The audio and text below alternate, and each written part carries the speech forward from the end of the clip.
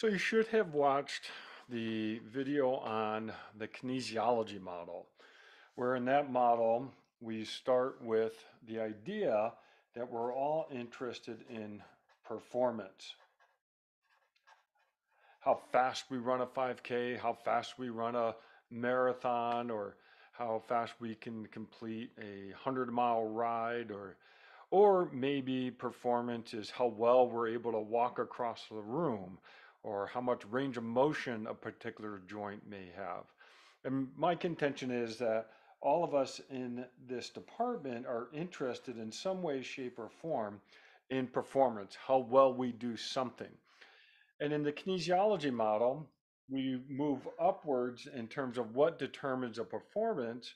And the first element that um, I present is we talk about movements and we have specific movement or change in space of things. And in this case, we're interested in human movement. And so what I'm going to do in this presentation is review some real basic structure, function, performance information that you'll want to know going forward in this class. Remember, this model continues to go upward and um, these things all determine uh, the other. So up here we have uh, kinematics and we have some kinetics and, and, central nervous system, things like that. Ultimately, we have a bunch of movements when we're dealing with human performance, and those movements ultimately uh, put go uh, are put together in a particular way and cause a performance. So some things that you're going to want to know in this class are things like movement terminology. And those terms are things like flexion, extension, rotations, internal rotation, external rotation, abduction, adduction, et cetera, et cetera. You're going to want to know movement terms.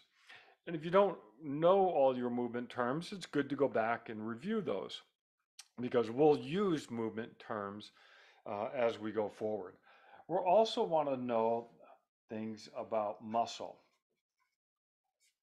things about the structure of muscle, tendons, ligaments, cartilage, etc. All right. Uh, we'll, we're, we'll also want to know that muscle uh, performs contractions. And later on in this model, I talk more about force velocity uh, length tension relationship. But here we're going to want to know things like terms like concentric, eccentric, isometric, isokinetic, isotonic, these are all terms that you should be familiar with.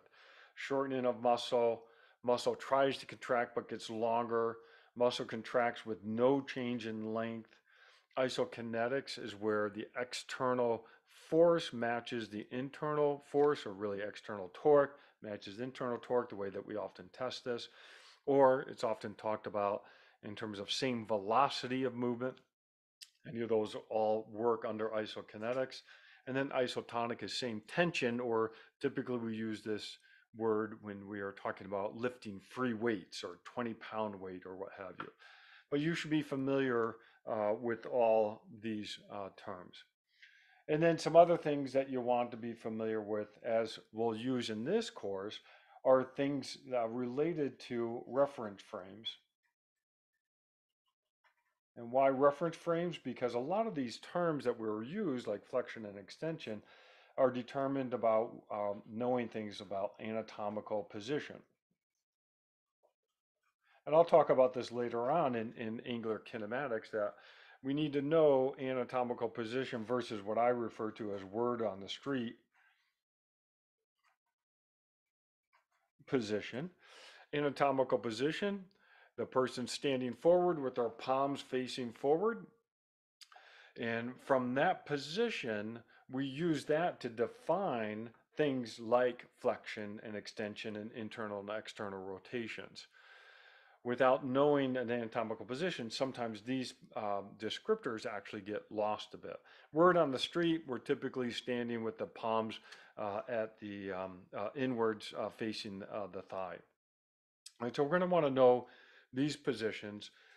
For movements, we're going to want to know our terminology to describe uh, movements. We're going to want to know things about muscle, uh, the structure of muscle, and we're ultimately, when we're dealing with in vivo uh, description of movement, where we're talking about muscle in the body, we need to know the muscle tendon unit.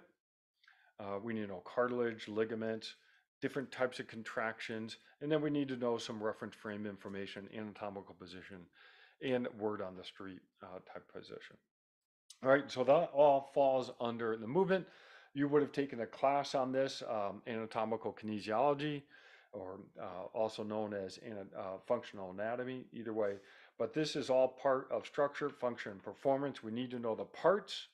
We need to know what the parts do. And we need to know how well they do these functions. Okay, so that's a quick summary in, in terms of this part of the kinesiology model. Okay, thank you.